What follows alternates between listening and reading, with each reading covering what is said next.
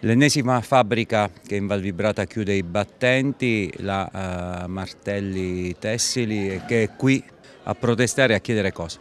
Allora, I lavoratori sono qui fuori la provincia perché l'azienda ha aperto la procedura di mobilità per cessazione, tra l'altro dopo praticamente due anni di confronto eh, eh, con l'azienda su quella che era la prospettiva eh, dello stabilimento di Ancarano, la Martelli Lavorazioni Tessile è una eh, multinazionale eh, che ha fatto pesare la crisi in questi anni praticamente solo sul nostro territorio. Oggi c'è da fare eh, una chiusura definitiva e la fanno sullo stabilimento di Ancarano, quindi sempre sul nostro territorio e eh, vogliono andare via, eh, tra l'altro senza eh, concedere almeno la possibilità di fare diciamo, dei passaggi che possano essere utili a fare una verifica sulla rioccupazione. In questo senso si era impegnato anche l'assessore eh, Lolli, aveva fatto anche eh, delle proposte alla direzione aziendale che diciamo, ha risposto risposto picche. Tra l'altro l'azienda